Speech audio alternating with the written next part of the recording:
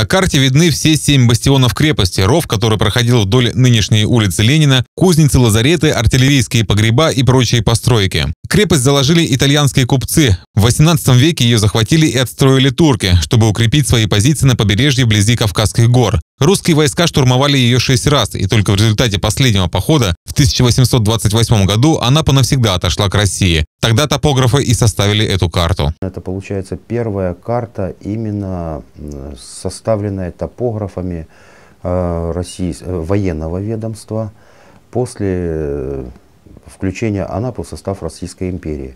Карта, конечно, грешит некоторыми неточностями.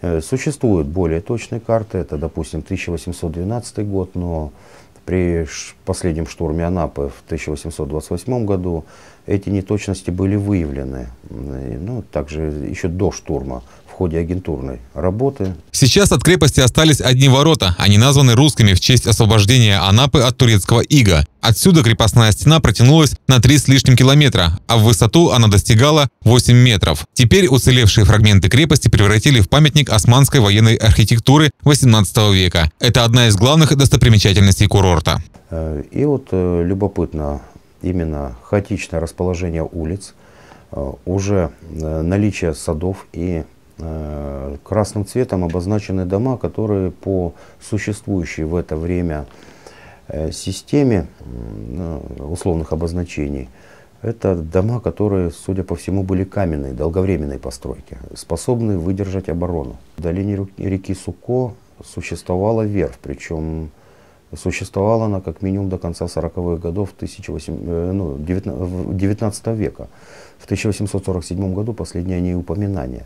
Но верфь была, строили, конечно, не на благо России, а строили контрабандные суды для секретной торговли э, с Османской империей. Все карты после 1942 года были стандартизированы по английскому типу. Вот, например, карта Анапы образца 1952 года в новом формате с историческими названиями поселений и лиманов. Акватория Кизилташского и Витязевского лимана на современных картах даже не наносится дублирующие названия.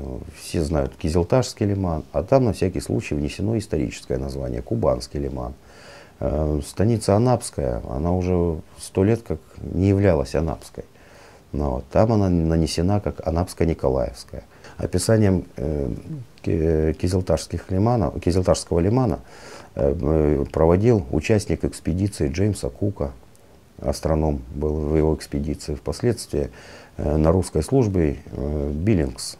Во время строительства стелы города воинской славы рабочие наткнулись на крепостную стену. Это доказывает подлинность найденной карты. Она теперь сама как памятник истории, который будет бережно храниться в археологическом музее. Вадим Родин, Роман Карпов, Анапа регион.